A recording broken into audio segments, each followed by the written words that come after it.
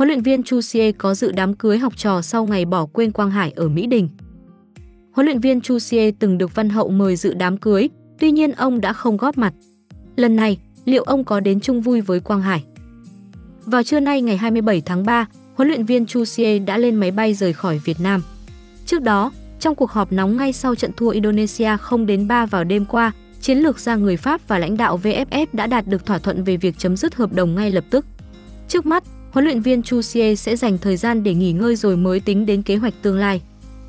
Thất bại trên sân Mỹ Đình vào tối ngày 26 tháng 3 như giọt nước tràn ly, khiến VFF không còn đủ kiên nhẫn với huấn luyện viên Chu Xie.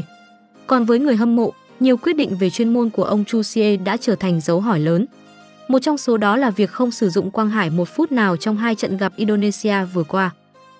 Việc sớm rời Việt Nam cũng đồng nghĩa với việc huấn luyện viên Chu Xie sẽ không tới dự đám cưới của Quang Hải. Tiền vệ 27 tuổi và cô dâu Chu Thanh Huyền sẽ tổ chức lễ cưới vào ngày mai.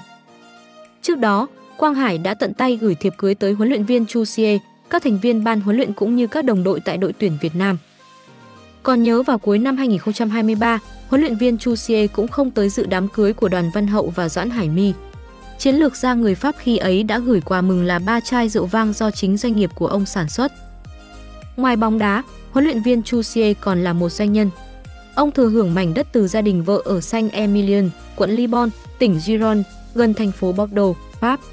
Tại đây, huấn luyện viên Chusier có riêng cho mình cánh đồng trồng nho và cơ sở sản xuất rượu vang. Trong quãng thời gian làm việc tại Việt Nam, huấn luyện viên 69 tuổi cũng thường xuyên tặng những chai rượu của mình cho các học trò tại đội tuyển quốc gia và U23 Việt Nam trong dịp đặc biệt.